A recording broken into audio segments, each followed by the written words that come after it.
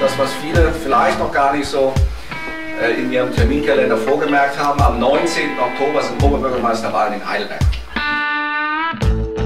Glauben Sie mir, es gibt schlimmere Jobs als Oberbürgermeister in Heidelberg zu sein. Und deswegen ist dieser Job auch so begehrt.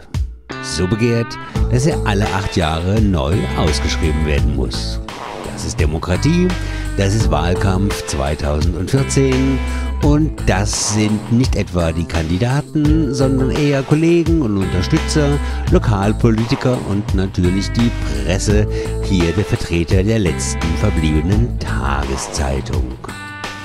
Das, was viele vielleicht noch gar nicht so äh, in ihrem Terminkalender vorgemerkt haben, am 19. Oktober sind Oberbürgermeisterwahlen in Heidelberg.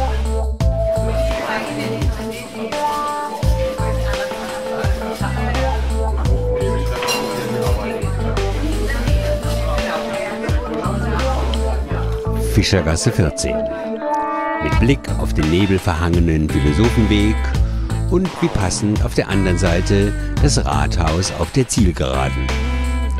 Vor dieser Kulisse stellte der Kandidat sein Programm vor. Ein stabiles Dreieck aus den Adjektiven aufmerksam, zuverlässig und motiviert. Wie im richtigen Leben war er dabei von Mitarbeitern, Mikrofonen und zahlreichen Kameras umringt, Längst kommen Kampagnen nicht mehr ohne Kommunikationsdesigner und Spin-Doktor aus. Der Heidelberger Wahlkampf ist jedenfalls eröffnet und der amtierende OB hat das letzte Wort. Das, was viele vielleicht noch gar nicht so äh, in ihrem Terminkalender vorgemerkt haben, am 19. Oktober sind Oberbürgermeisterwahlen in Heidelberg.